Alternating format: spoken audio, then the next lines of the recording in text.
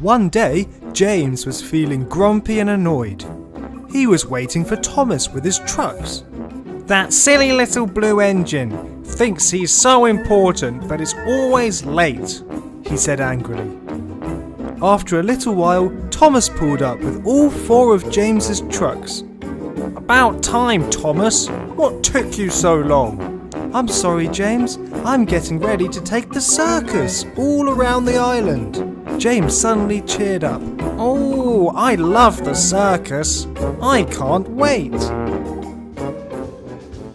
Later that week, the circus had arrived. Thomas was taking the circus on tour from village to village all around the island.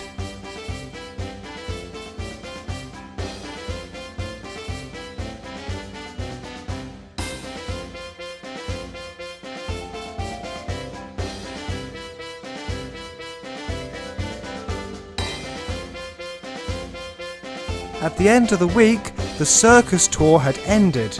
Thomas left Knapford Station to take the circus away.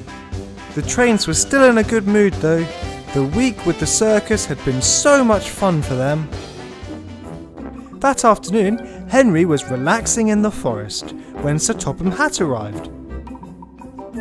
Henry, I need your help. A tunnel nearby is blocked by something. I need you to take a group of workmen to help unblock it. I shall come with you. Sir Topham Hatt got into Henry and they steamed off to pick up the workmen. The workmen were waiting inside a troublesome truck, with all of their tools in another troublesome truck. Soon, Henry arrived and pushed the two trucks towards the tunnel.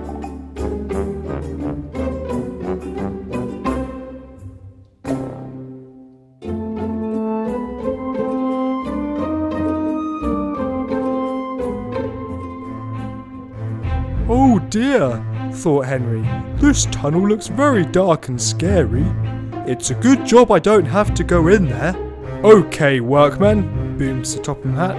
I need you to go in there and find out what is blocking the tunnel.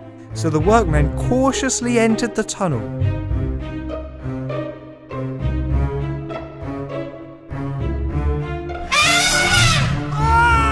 However, they soon rushed out of there very quickly. There's something big in there! Something very large and alive! It's a monster! Another workman shouted. Henry did not like the sound of that. A, a, a monster? Alright then, said Sir Topham Hatt. Looks like Henry and I are going to have to go into the tunnel ourselves and push it out. What? exclaimed Henry. Now he was feeling very scared. As Sir Topham Hatt clambered into one of the troublesome trucks, Henry plucked up all of his courage and got ready to enter the dark tunnel. Slowly but surely, they chuffed into the darkness.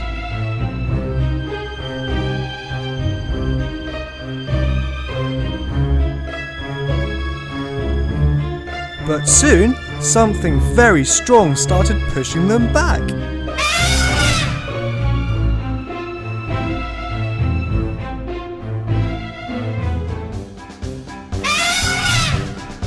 It was an elephant. So that's what's blocking up the tunnel, said Sir Topham Hatt. The workman fed the elephant and looked after it. Henry felt really silly for being very scared of an elephant. Soon Thomas rolled up. Sir Topham Hatt, I've got some bad news. The circus is missing an elephant. I'm so sorry. Ha ha, Thomas, answered Sir Topham Hatt. You mean this elephant? Oh, phew, that's the one. that night, Henry told all of the other engines about what happened today. Gordon and James were teasing Henry about it. So now you can add elephants to the long list of things which scare you. But Thomas was more friendly. It must have taken a lot of courage for you to go into that tunnel if you thought it was a monster. You are a really brave engine, Henry.